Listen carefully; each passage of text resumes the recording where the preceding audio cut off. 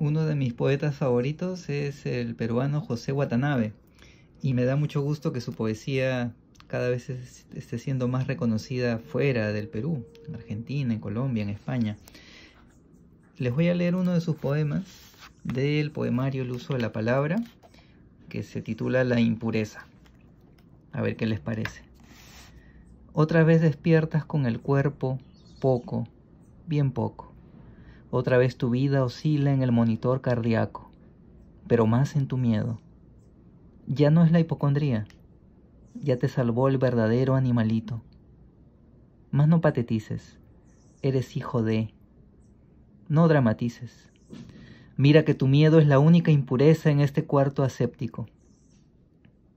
¿O nunca conseguiré realmente ser hijo de? El japonés se acabó picado por el cáncer más bravo que las águilas, sin dinero para la morfina, pero con qué elegancia, escuchando con qué elegancia las notas mesuradas primero y luego como mil precipitándose del cotó de la hora radial de la colonia japonesa.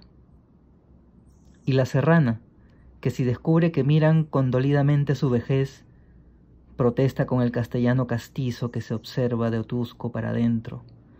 Más arrugas hay en tus campañones que mi majoma, carajo. Y asombrosamente sigue matando pollos, cuyes, cabritos, sin un gesto compasivo, y diciendo, como si dictara la suprema lección moral, Deja el tiesto sobre las brasas, hijo, para que coja más temple. Ellos no vendrán, pues, a tomar tus manos. ¿Y acaso estás a punto de no ser hijo de nadie?